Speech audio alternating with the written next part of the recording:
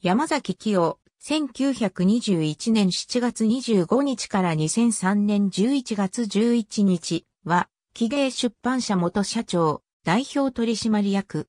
長崎県佐世保市出身。戦前は子供の科学主催のスピード競争、牽引力競争で優勝。やがて模型鉄道、科学と模型に投稿を続ける。1945年に東京帝国大学理学部を卒業後、地理学教室に食卓として残るが、鉄道関係の小冊子を数冊発刊した後、1947年に雑誌、鉄道模型趣味を創刊し、病気のため事実上離れる、最晩年まで長年主筆を務めた。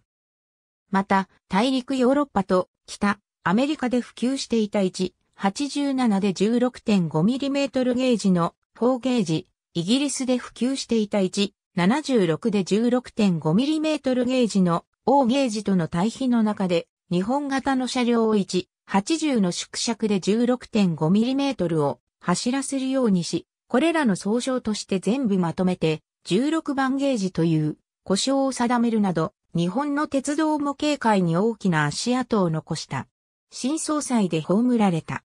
脳梗塞のため2号より増刊号を除いて連載していたミキスト1993年10月号540回を最後に中断した鉄道趣味検証決まるレールファン第49巻第10号鉄道友の会2002年10月号22から23ページ。ありがとうございます。